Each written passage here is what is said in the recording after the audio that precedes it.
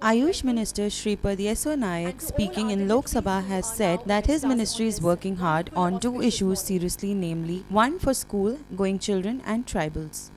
आयुष मंत्रालय इसी के बारे में गंभीरता से प्रयास कर रही है जो दो मुद्दे हैं उनके एक स्कूली बच्चों के लिए आदिवासी और इतर लोगों के लिए जो हमारी आयुष ग्राम योजना है ये योजना अभी शुरू हो गई है हमने राज्यों से प्रस्ताव मांगे हुए हैं, प्रस्ताव आने लगे हैं। और इसी की ओर से जो कुछ स्कूली बच्चों का, बच्चों के लिए जो इलाज है, आदिवासियों के लिए इलाज है, बाकी इतर इनके लिए जो सुविधा नहीं है, उनके लिए इलाज करने का हमने शुरू किया हुआ है।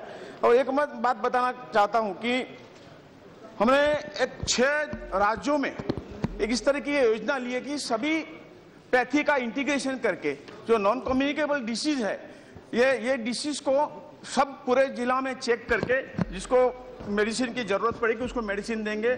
इसके ऊपर कुछ उसको आगे अगले अस्पताल में रिफर करना पड़ेगा। वो भी आ, हमने शुरू तीन छः ज़िले लिए हैं छः राज्यों के। और इसी तरह से गाँव तक हर घर तक जाने का प्रयास आयुष मंत्रालय का है।